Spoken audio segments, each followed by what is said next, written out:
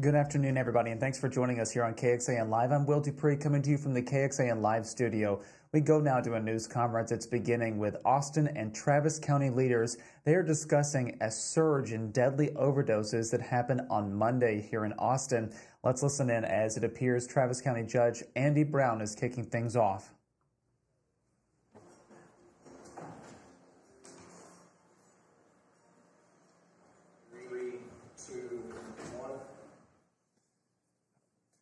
Good afternoon. I'm Travis County Judge Andy Brown. Thanks for joining us here today. Um, first, I want to offer my deepest condolences during this difficult time to the family, families and friends of the people who died yesterday. This tragic loss of life weighs heavily on our community, and our hearts go out to all of those who are impacted. I'd like to recognize and thank Austin Travis County EMS and the Austin Police Department for their swift response to the largest opioid overdose outbreak we've seen in years here in Austin and Travis County. Their quick response saved dozens of lives, and their swift distribution and administration of Narcan prevented further loss. Later this afternoon, the Travis County Commissioners Court will approve a contract with Texans Connecting Overdose Prevention Efforts, also known as TexCOPE. The partnership with TexCOPE will provide Travis County with real-time data on overdose incidents and Narcan distribution and supply. Access to this data will allow Travis County, our community partners, and our first responders to have real-time information about when, where, and why overdoses are occurring and use the information to tailor our opioid response and remediation efforts. Thanks to TexCOPE, we were able to quickly alert overdose response organizations across the I-35 corridor from San Antonio to Dallas to be prepared to respond in case the bad batch traveled to their location. We've also confirmed that Integral Care has Narcan available at all of their clinic locations and is actively distributing through their community outreach teams. Opioid overdose deaths are completely preventable, and everyone in Travis County should be aware and prepared to respond to an overdose incident. Everyone should carry Narcan and know how to respond to an overdose. I carry a dose of it in my computer bag. Drug overdose deaths continue to be the number one cause of non accidental deaths in Travis County. On, in, back in 2022, on May 24th of 2022, the Commissioner's Court declared our overdose epidemic a public health crisis and made significant policy and financial investments to save lives. This funded a three part strategy of education, prevention, and intervention to reduce the number of overdose deaths and support harm reduction activities and strategies. Since our declaration for fiscal year 2022 and 23, the county has distributed 9,752 doses of Narcan and trained about 320 people. I know the city and other entities have done more on top of that. This year, the Commissioner's Court authorized another $175,000 to purchase and distribute Narcan to community based organizations who are on the ground tackling this crisis. We distribute it to places like Communities for Recovery, NICE Project, the Other Ones Foundation, Safe Alliance, Safe Haven, Sunrise Homeless Navigation Center, Sunrise Community Church, Texas Harm Reduction Alliance, Trinity Center, Austin, Urban Alchemy, uh, Vivent Health, Working Group 512, and Travis County Departments. In total, that is 14,256 doses of Narcan. Um, we've received opioid settlement funds from those lawsuits. So far, we've received $1.5 million or so, and we've authorized about 860,000 of that to be invested in contracts for methadone treatment services, peer recovery supports, the purchase of Narcan, and the rental of Sharps collection kiosks. We clearly ha- still have a lot of work to do to make sure that our community has better access to Narcan and to increase access to overdose prevention programs. Substance use addiction and the recreational use of drugs should not be a death sentence. So if you're struggling with an addiction to drugs, ask for help. Nobody is looking down on you for asking for help. Asking for help could save your life. And to learn more about how to respond to an overdose and where to get free Narcan, you can go to txcope.org, texcope.org. So um, thank y'all very much for being here today. We're going to learn more from the folks who actually did the response. And right now I'm going to pass it over to Austin Mayor Pro Tem Leslie Pool.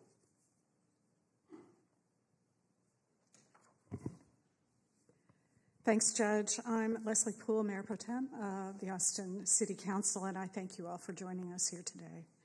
This is a vitally important topic, and we need your help to get critical, life saving information to everyone in our community.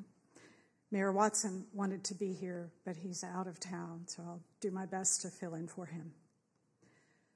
The loss of life since yesterday morning is devastating to contemplate.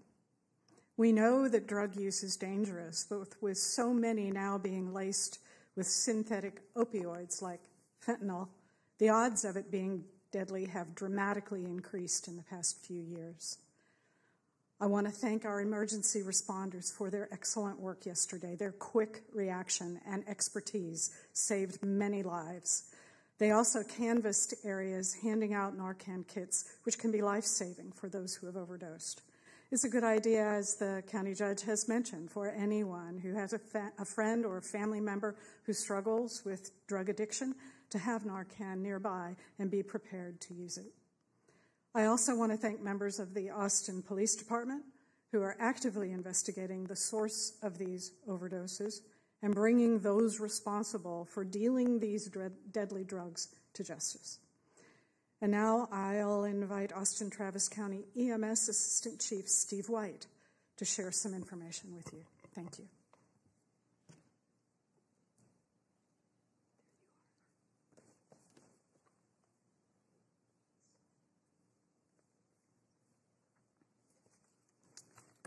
Good afternoon. Uh, yesterday, around 9 a.m. in the morning, uh, the city experienced a certain surge in, surge in opiate overdoses, initially concentrated in the downtown area and then eventually spreading throughout the city, north, south, and east. Austin Travis County EMS and our valued partners at the Homeless Strategy Office and Urban Alchemy rapidly deployed a team to these affected areas and quickly started distributing Narcan rescue kits and educating bystanders on how to use them in case they encountered an overdose. Throughout the day, yesterday, and in today, we have seen an unexpected volume of opioid overdoses across the city. And as of noon today, Austin Travis County EMS has responded to over 51 suspected overdoses. Many of those were found in cardiac arrest. And unfortunately, out of those 51, four resulted in um, being pronounced deceased. We have not experienced overdoses of this volume since 2015 when K2 was effect, uh, struck our community. We typically average about two to three overdose calls per day. Yesterday, we were in the 50s. That is well over a thousand percent increase. The safety and well being of our residents are our top priorities, and we are working diligently to address this crisis. Many of the people that you see standing with me today have put in long hours to develop programs for times just like this. If our city and county leadership had not made this a priority, the outcome of yesterday would have been much, much worse. The number of lives that we would have lost would have been dozens instead of single digits. Our community health paramedics have distributed over 267 doses of Narcan in some of these affected areas. Community members can help us by learning the signs of an overdose and how to care for someone until help arrives. We would like to acknowledge some of the outstanding efforts of our public safety partners in the Austin Police Department and the Austin Fire Department who are working this surge with us. Chief, I would like to point out Henry Sector specifically uh, performed uh, amazing work and actually went through their entire stock of Narcan in one day. Additionally, we encourage anyone who may be struggling with substance abuse to seek help and support from local resources that are available in our community. You should never use an unknown substance, but if you choose to, we encourage you to start slow Start low and never use alone. You should always have a sober friend who has Narcan available so that they can administer and call 911. I'd now like to turn the podium over to uh, Austin Police Department Assistant Chief Eric Fitzgerald. Thank you, Chief White. Good afternoon, everyone. I'm Eric Fitzgerald, Assistant Chief with the Austin Police Department.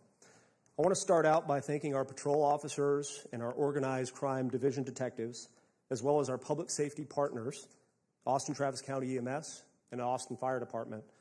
Their combined efforts undoubtedly reduced the number of deaths that we have experienced and seen over the last 30 hours. During this period of time, a number of our officers administered multiple doses at various scenes, which helped save the lives prior to our public safety partners arriving on scene. Additionally, we've seen civilians jump into action and intervene by administering Narcan on some of these scenes. Since October of 2021, the Austin Police Department is fortunate enough to be trained and to have our officers administer Narcan in situations just like this. And as you can see, this has made a significant impact. At this time, it is apparent that there is a deadly batch of illicit narcotics in our community. Our intent at the Austin Police Department is to find those persons responsible and hold them accountable. Again, I want to thank all of the officers for their quick response and tremendous work in addressing this immediate threat to our community and public safety. Now, I'd like to introduce Lieutenant Pat Eastlick. He is with our Organized Crime Division Narcotics Support Unit. He is going to go into the update on where the investigation is at this point. Uh, I want to remind everyone that this is an active, ongoing investigation. Uh, there are some details that we need to withhold to ensure the integrity of the investigation. Good afternoon. Detectives yesterday were notified by officers from the downtown area command um, concerning an increase of overdoses within a short period of time. Detectives from the Narcotic Support Unit responded downtown to investigate the source of these narcotics. During the course of their investigation, two individuals were detained and one resulting in a arrest for felon in possession of a firearm. Further investigation is needed for additional charges on these individuals. The APD Narcotics Support Unit is investigating the source of the illicit narcotics and working to identify any potential dealer or dealers. Our partners with the Drug Enforcement Administration and the Assistant United States Attorney's Office have also offered their support also in this investigation. Anyone found responsible for distributing the suspected fentanyl faces potential charges of murder or manufacture or delivery of a controlled substance causing death or serious bodily injury. Fentanyl overdoses have affected have had an effect on this community and is a major concern of the Austin Police Department. APD Narcotics Support Unit actively investigates fentanyl overdoses, overdose deaths, for the purpose of holding the dealers of this deadly drug accountable. To date, the Narcotics Support Unit has filed uh, five charges related to fentanyl overdose deaths. And now I'd like to turn it over to Austin Travis County Health Authority, Dr. Walk, uh, Walkes.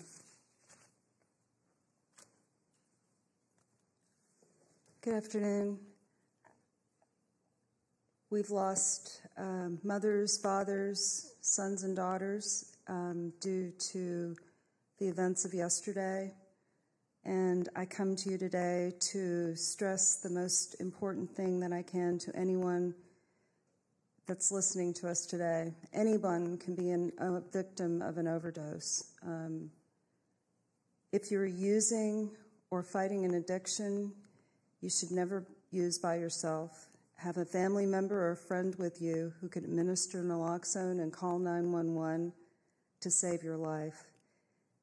It is also important that all of us know the signs of an overdose so that we can take action as soon as possible and call 911 immediately. So, those signs are small pupils, slow breathing or not breathing at all, cool and pale skin, and not responding or very low response level to um, stimulus. Don't hesitate to act if you're not quite sure. Uh, giving naloxone will save a life.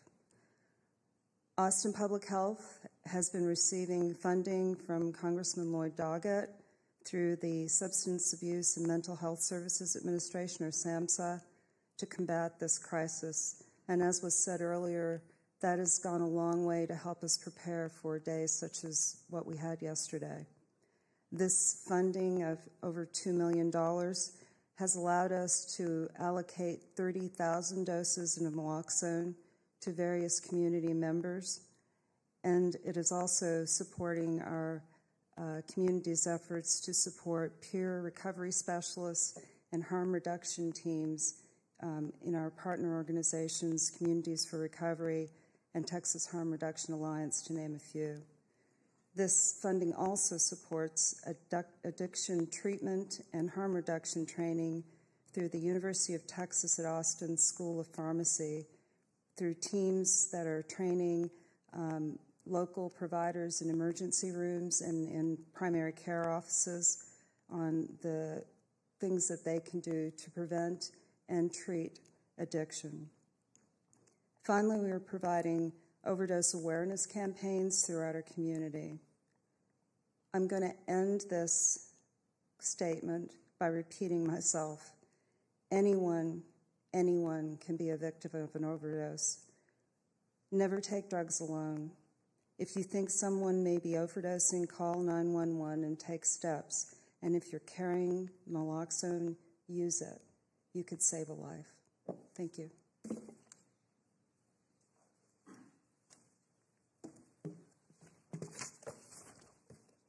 Good afternoon. I'm Dr. Keith Pinckard, Chief Medical Examiner for Travis County. Beginning at approximately 1 a.m. on Monday morning through about 4 a.m. this morning, so about a 27 hour period, we have been involved in the investigation of eight uh, sudden unexpected deaths that are suspicious for drug overdose deaths. Our investigation at the Travis County Medical Examiner's Office involves going to the scene of the event, and investigating the scene, circumstances, and history surrounding that event to put it into context within the broader picture of our death investigation and autopsy. The eight cases that we are currently investigating uh, were located uh, downtown and in southeast and northern parts of Austin. Some of them were transient individuals, and the histories provided raised suspicion that these cases uh, may in fact be to drug overdoses. Some of the decedents were actually with other individuals who were also using substances, and those other individuals were taken to hospitals for treatment. The autopsies on all eight of those individuals uh, were conducted uh, either yesterday or today. In fact, some of them are going on right now. Uh, the autopsy does take some time to complete. However, we also have our own toxicology lab where the toxicology testing will be taking place, and we hope to get preliminary results on what may have been in their systems in the next couple of days. Thank you. All right, that's everyone who's has statements, but if y'all have questions.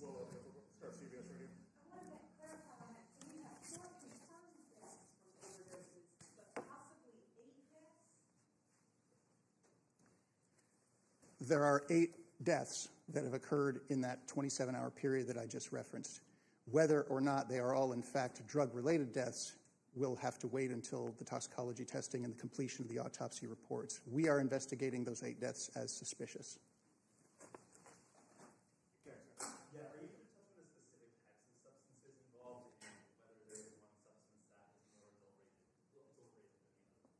So you're waiting on the toxicology to be able to answer that question. Do y'all have any response on that? As of right now, we don't know the exact substance, um, but based on the symptoms that were being showed from the victims, we do believe it's some sort of opi- opioid.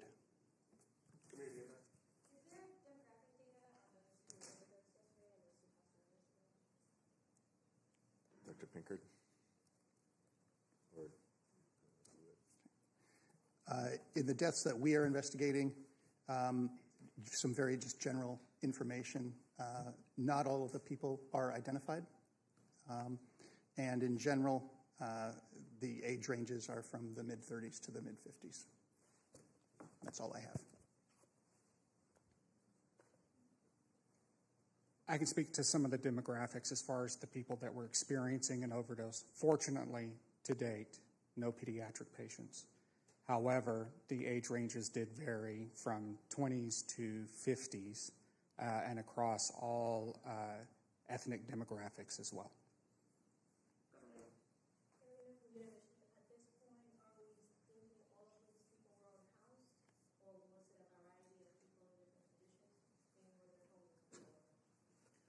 Uh, for people experiencing the overdoses, uh, there were patients that uh, were unhoused. There were patients that were housed. Uh, there were patients that were at their workplace, and there were patients that were out in public accessible spaces as well. Uh, it was not limited to one geographic location. We did notice that there were some spots that had a higher density of overdoses, but it was spread throughout the entire city.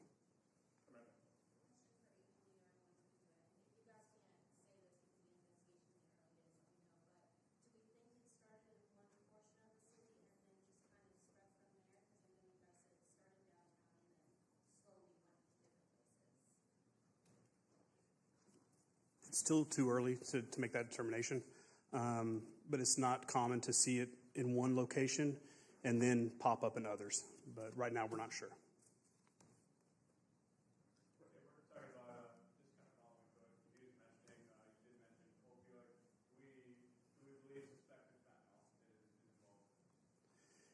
Based on the trends of what's going on with the opioid, uh, opioid, I cannot say the word, sorry, um, incidents that we're having, it's most likely going to be fentanyl. But until we get toxicology from the ME's office, we are not going to say, we can't say uh, for certain.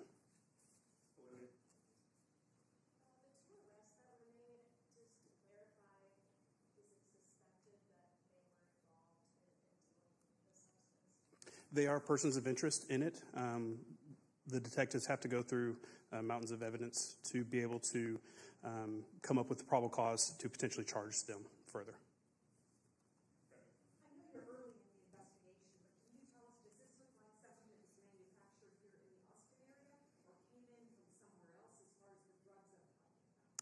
We're not we're unable to know that right now.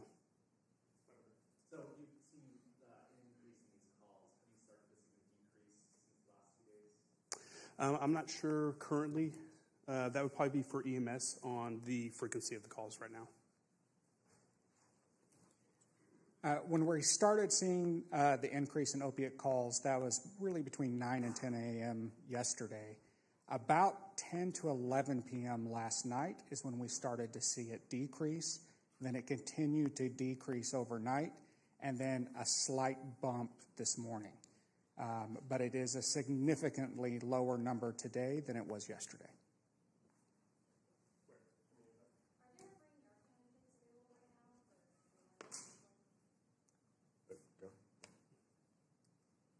Yes, there are free Narcan kits at um, dispensing um, machine machine dispensers across the city, and people that have MAP cards can get free Narcan at HEB locations and at community care pharmacies.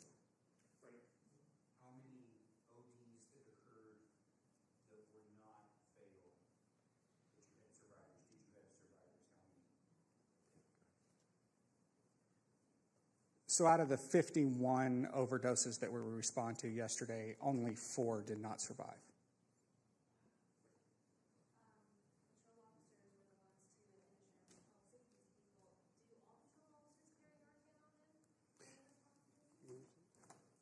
So, as I said, in 2021, we began that program. We make it available. They're able to check it out at our, uh, our PCO, our property control offices.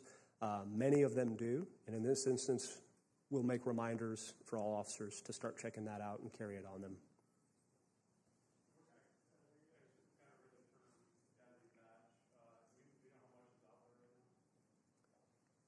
We don't.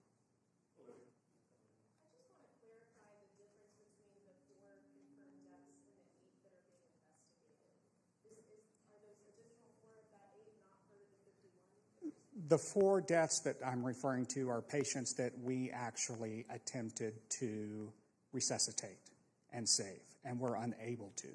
Uh, it is the four that are inside of the, the deaths that are being reported here. So it's not in addition, it's part of the, the larger number, but it is four that we were unable to uh, revive.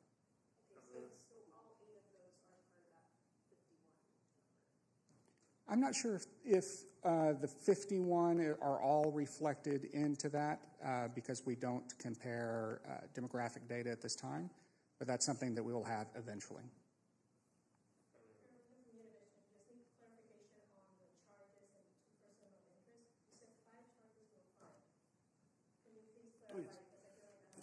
Right. So for the incident yesterday, um, the investigation of the narcotics support unit, uh, one charge was filed on one individual for felon in possession of a firearm. Now, they're going to continue their investigation with potential charges, and those charges can range from anywhere from possession or delivery of controlled substance all the way up to murder or delivery of controlled substance causing serious bodily injury or death. There were two people detained at that time, so uh, we're not ruling out anybody um, during our investigation. If more come up, we're definitely going to be addressing that as well. Correct. Thank you all. If you all need anything else, you can follow up with.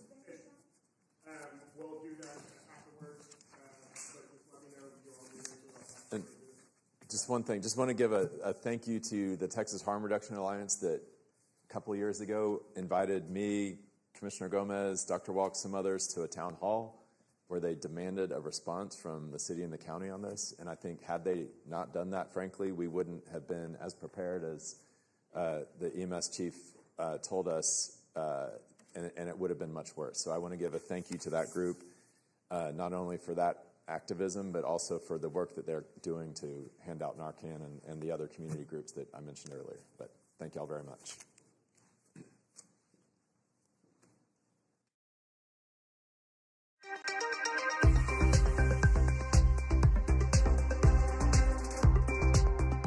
Will Dupree back in the KXAN live studio as we wrap up this news conference from Austin and Travis County leaders. Uh, they're discussing uh, a pretty uh, upsetting update to what unfolded in the last 27 hours or so. Uh, they're now saying that at least 51 people have uh, experienced an overdose uh, due to potentially fentanyl laced opioids. And of those, 51 cases they responded to yesterday, four people have died. Now, the chief medical examiner for our area did say that they're investigating another four deaths that could be related to this, uh, but that's too early to say. So potentially there could be eight people who have died from uh, this batch of drugs that uh, has now resulted in a series of overdoses across our community. And you heard there uh, that they said that this happened all across the city, downtown, northern parts of Austin, southeast as well, in many different places, including camps, workplaces, and homes. So this uh, is going to lead to a police investigation. What the police shared a few moments ago is that two people have been detained during this investigation so far. Uh, however, only one has been charged with uh, being a felon in possession of a firearm. However, other charges could be forthcoming, so we'll have to wait and see and follow up with police and work to learn those details. So please stay with us as we continue reporting this. Uh, there are a number of ways to be able to get that opioid uh, that opioid overdose uh, reversal uh, Narcan drug. Uh, across our community, and we have some of that information on our website at kxan.com. So we thank you again for watching here this afternoon. We appreciate that. I'm Will Dupree in the KXAN live studio. We'll see you back here at another time. Hope you all stay safe and healthy out there. Take care.